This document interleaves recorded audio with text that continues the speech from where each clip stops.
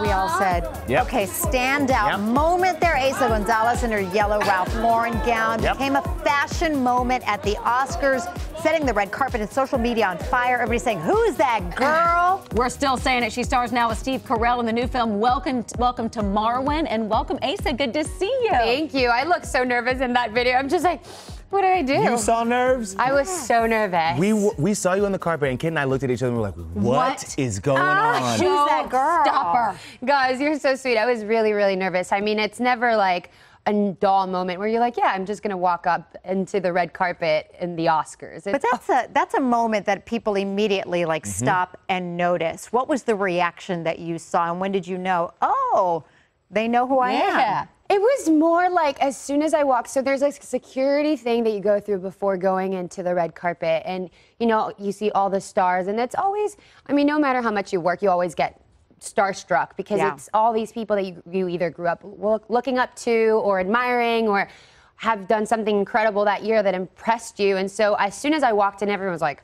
Whoa, and I knew at that moment we hadn't made a good decision with the dress. Yeah. I just feel like whether you, if it's going to be the first time you're going to go to the Oscars, go big or go home. Yeah. So when you were doing all the dresses, trying everything on, was that the first one you put on, or when you put it on, were you're like, okay, it's go time? Or did someone have to sell you on the yellow? Because that is like a no joke, not your common color at the oh, Oscars. yeah. though. No, Look at her. She I actually yellow had to dress. sell everyone into it because to me, it's it, always dressing up for the Oscars is sort of like you, if you're not a nominee, you want to tame it down, but you also want to look like a standout, and you also want to make.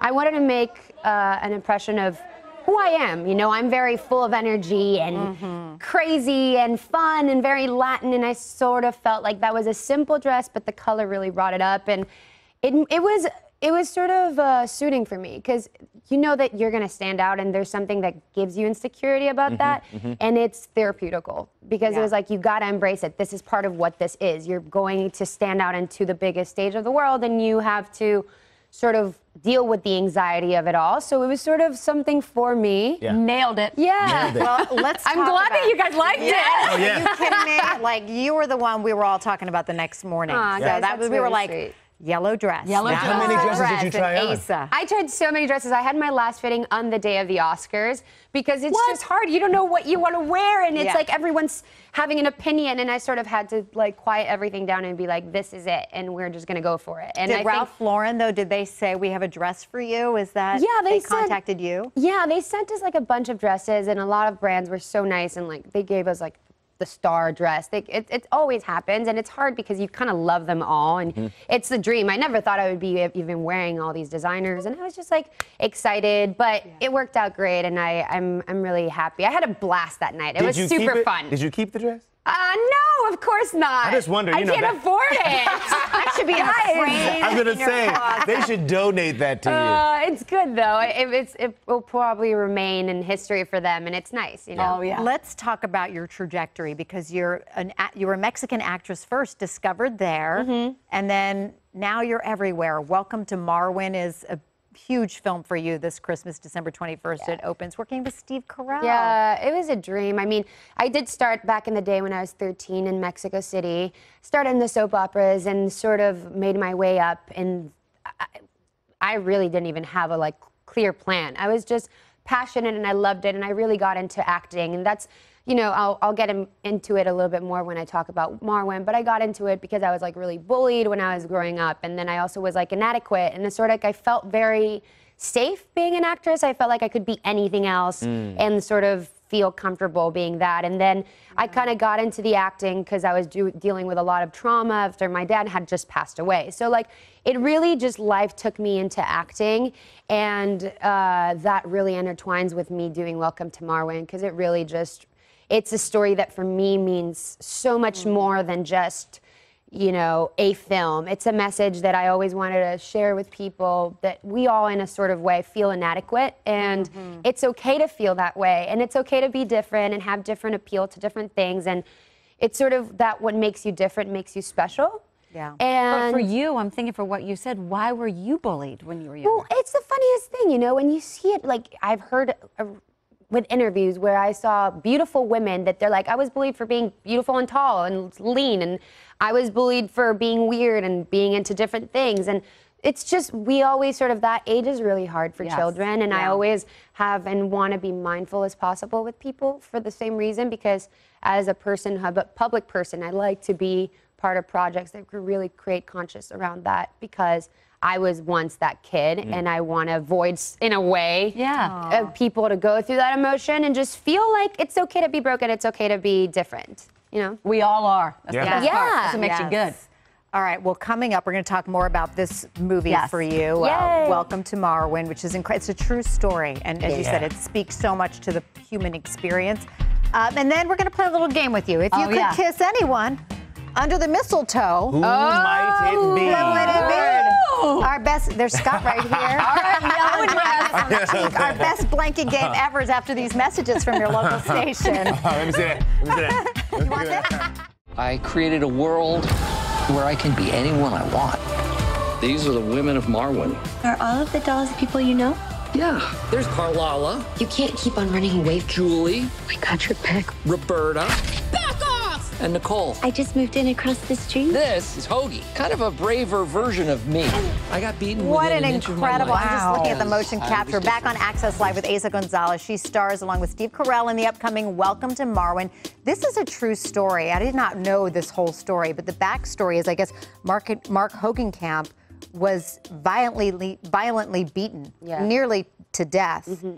And then came out and created this whole doll village, as we saw. Tell us more. Yeah, his story is very inspiring for me. He was just in his own way different, you know, and you will discover it when you watch the film. Mm-hmm. But he's, you know, his own personas and it's his own things. And people sometimes, you know, are judgmental about what you like. Mm-hmm. And he sadly got beaten up to death at almost 40 and had to rehabilitate himself and go through his own therapy to find out who he was again. And the way that he did it was relating the dolls to people. And throughout the movie, you'll watch what the story unravels in and how it sort of like embraces it. You know, it also embraces the Adelitas outfits. As you can tell, the Barbie doll is very Mexican, which uh, made me so happy. I love her. Because I feel so proud of my beautiful culture, the colors, the style, the hair, the the the, the hoops. The it was, earrings. It Come was on, everything, hoops. right? It was the Barbie Mexican Barbie doll dream, and so it was a perfect movie for me because it sold a message of hope, of inspiration, but at the same time embracing different cultures, different women, different that. looks. I got to work with an all-women cast and Steve Carell and Bob Zemeckis. Yeah. I was just like pinching myself every day. Well, speaking of perfect movies Dwayne, for you. Dwayne Johnson Yeah, what about and the Hobbs and spin-off? Shaw. yeah. I mean, I just got back from London yesterday, so mind me. I'm a little bit jet lagged, guys. So if I don't nail that game, be nice to me. But it's been great. I mean, I just walked into that set, and Dwayne immediately was just like, "Can you give me all these workout tips?" And I was like, "Listen, maybe later. Like right now, Wait, I'm he working." wanted workout tips from you? Yeah, I was like, Dwayne, Like, right wait, not now. Not okay? now. Mama's Just wait- working. right. We're making a film. Hello. Right. Can you get out of my face? No, but he was amazing. Everyone was so sweet. I got to work with David Leitch, who is an incredible director. I watched him doing, you know, um, that movie with Charlize Theron, which is incredible. And then he had done Deadpool, and I love his tone of film. So I got to work with all of these incredible casts, and I can't wait for you guys to see the character. Is there a career you want to emulate? Like growing up, was there somebody you've been watching or that you like? Of course. I mean, I respect women that embrace going into a hard industry like this. Mm-hmm. I always find it really fascinating in general that people have the the heart to keep on going because it's a you know people don't know the behind the scenes but it's a hard career in a sense you get a lot of no's Yeah. so Yeah. any woman that is a, like able to stand up rebuild herself and go for it again to me it's ins- uh, as completely inspiring Isn't that your That's your Insta bio? Instagram. Yeah, you I say- do believe so on that you know after going through so much You myself say there's nothing stronger than a broken woman who has rebuilt herself. yeah. Have you had to rebuild yourself? Oh my God, a billion times. I mean, after losing a father very, very young and then going into the industry very young and sort of finding who you are as you're growing up, trying to be a role model, but do a good job, be the best as you can. It's a lot of pressure and Yeah. sort of sometimes you're going to cave and you got to pick up yourself. Dust it off and keep on going. And that's how my life motto is. And I see a lot of women doing that. You guys, Everybody. you're not a woman, but you do it too But, like, I every get it. day. But no, like, I understand. And I Yeah. respect that. So I, I look up to a lot of people, and I'm just grateful that I'm alive. I get to work and do these Yeah. sorts of films. And you had um, you also write about on your Instagram. You're very open about you know your battles with Yeah. all the things that you've been through, but also compulsive eating disorder. Yeah. So how did you get through that time in your life? Well, honestly, good family. I had such an incredible, supportive mother. I mean, from day one, she's been here. She's been with me right now that I've been traveling. I came back from Hawaii. I'm hit, shooting two movies at the same time, and she's mm-hmm. there Hi, for me. gorgeous mom. Hi, Mama. She's a beauty, and it's been good. You know, it. And the thing is, to me, it's we all cave. We all have insecurities. Yeah. Even if you see us right now here, we all go to our houses, and we're a normal person. And if you gain weight or lose weight, and growing up as a girl, you know, I had a big depression over losing my father, and I was eating compulsively, and then got thrown into the f- industry, and I had never en- encountered that before, and so. I went through a lot. Did you gain a lot of weight when you yeah, were going through all this? so this? much, Yeah. so much. And then they also- wanted you to lose it when you got into well, business? Funny enough, I was lucky that I worked with people that weren't pressuring me and let me be who I was. But you hmm. know, you're a teenager, you're trying to like, you want to be cute, Yes. you want to Yeah, fit yeah. in. It's hard. and I on always say that social media nowadays, Yeah. I have so much compassion and I always try to say to girls, it's okay to be who you are. Don't try to follow whatever you see me doing. I'm almost a mm-hmm. 30 year old woman. If you're 16 and you're doing your thing, do your thing. You got to be yourself and not put pressure on yourself. And I love that you post in both Spanish and English. Uh, Yeah, let's get to for our my game. Mexico. I you've love got, that. You've got the Yeah. mistletoe. Okay, wait, here we go. Oh, wait, what? Speed round. Oh, it's happening. Speed round. happening. It's happening. Okay. Oof. Jesus. Here we go. Oh, Lord. Best blanking game ever. Here you go. A funny nickname you've been given is. My mom calls me pelona, which means bald girl, because they shaved my head when I was younger so my hair would grow better. And they would glue a little bow to my head with toothpaste. It's amazing. So now that stayed, I'm pelona. which need means- a- worked. We I'm need a baldy. visual. Pull Your hair is picture of Yes, I will. Okay, your teen celebrity crush is or was? It was definitely one of the Backstreet Boys, and it would like go around throughout the time because it's like you ah. start growing up, and definitely NSYNC as well, all of them. I went was at a of them. Christmas party and met one of the Backstreet Boys' wives, I think Kevin, so I can introduce you. No, don't, don't. You respect relationships, guys. She's Well, married. maybe maybe No, out of relationships, if there was someone you could kiss under the mistletoe, any person, who would it be? Uh, I'll have to probably be a person. Give a kiss to Pasita, my little blind little dog.